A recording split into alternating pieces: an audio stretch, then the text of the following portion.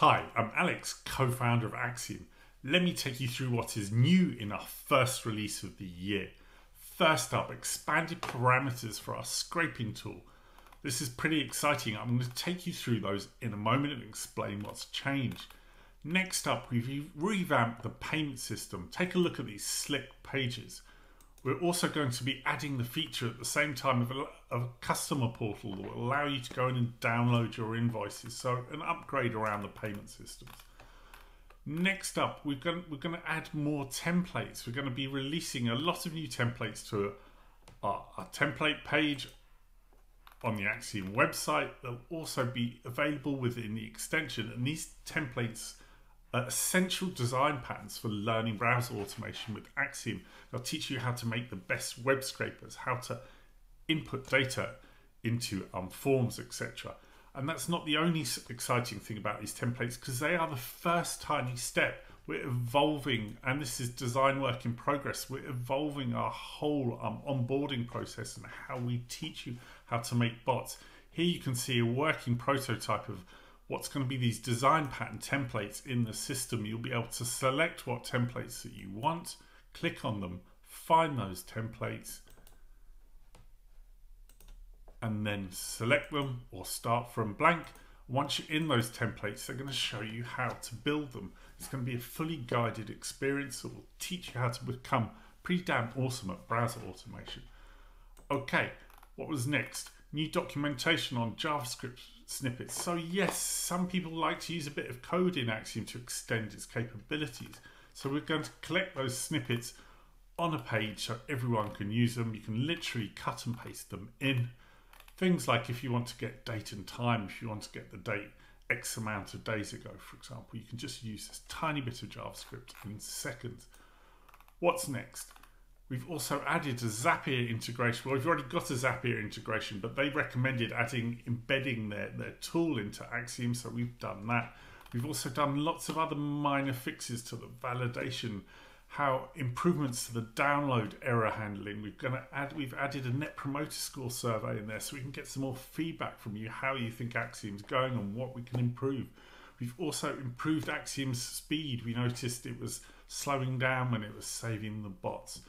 Cool, but let me take you through the, the important part of this release, and that is the optimization of the, um, let me just get to the right page, of the scraping tool. So now if you want to use the new scraper with the new parameters, you'll need to re-add the get data step to your, to your Axiom.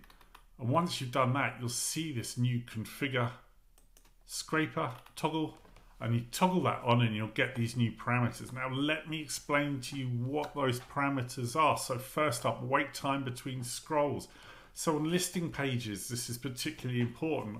Page like this, Sales Navigator, I've got in the background, Axiom scrolls down and the content loads in. On some pages, it unloads and loads content. It doesn't have it all on the page at once.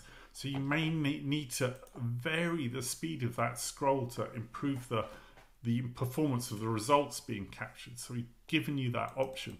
It can also be used to, to so you can vary the speed of the scraper. So you, so if you think you want to optimize the speed speed because it's taking too long to scrape, you can try varying the scroll time.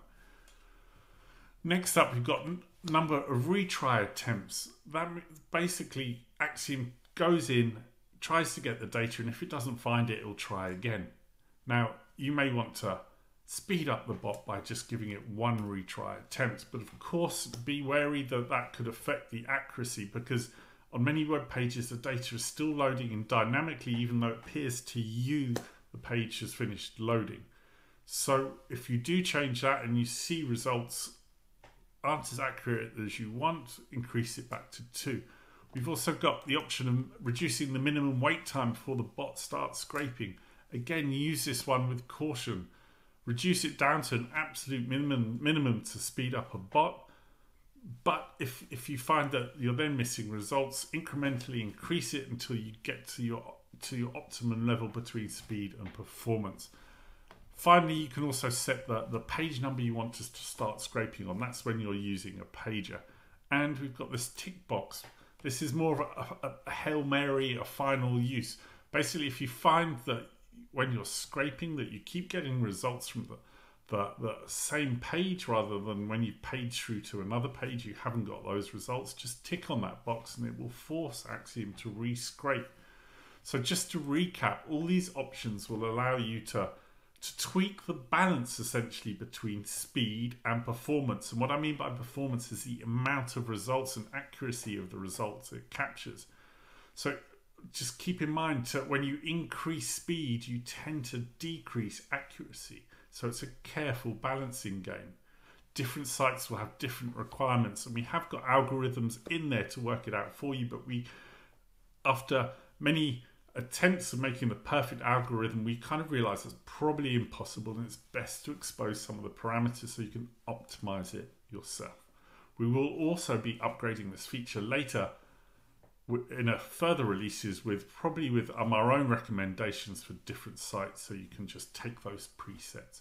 Cool. Okay. Well, that's about it for this release. We've got lots more coming up in the next few releases, so keep an eye out for those. And um, a big thank you for our team who's worked incredibly hard to do all of this as ever, and a thank you to all our users.